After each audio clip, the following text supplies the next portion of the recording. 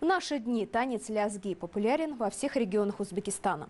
Он является одной из ключевых форм самовыражения народа и передается из поколения в поколение через создание новых версий исполнения танца.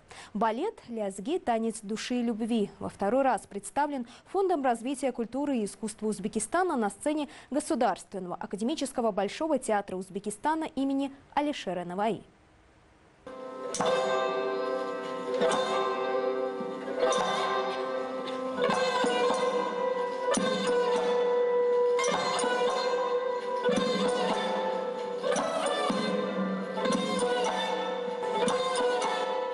Лазги. О его происхождении сложено немало легенд.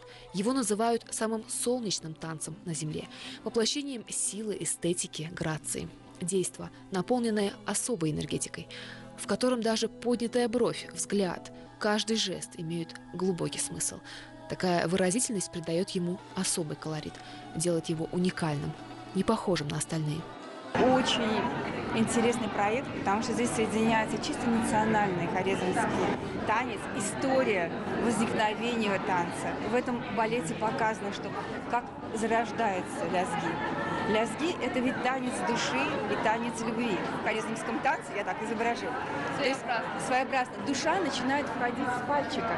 Почему хорезмский начинает сначала двигаться пальчик, потом кисть, потом уже плечо, потом уже голова. То есть душа, она входит. А естественно, если у человека уже чувство, есть чувство, то он, естественно, и любит.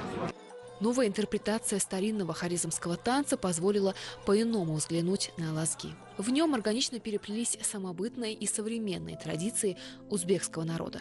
Премьера балета состоялась 5 сентября прошлого года под эгидой ЮНЕСКО. Два месяца спустя впервые история одного из самых популярных танцев Узбекистана была представлена на сцене Дубай-оперы мультиформатного центра исполнительских искусств. Тогда постановка получила высокую оценку зрителей и признание профессионального сообщества. И вновь на сцене Государственного академического Большого театра имени Алишер Наваи развернулось волшебство.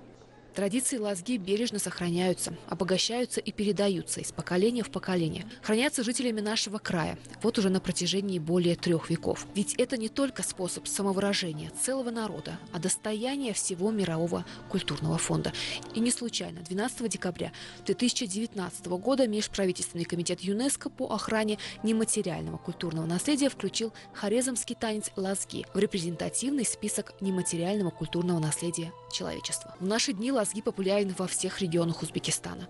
Само название лазги означает «душа и любовь». Именно такой подход к работе над танцем использовал главный хореограф Рауль Раймондо Ребек, выпускник балетной школы Берлинской национальной оперы.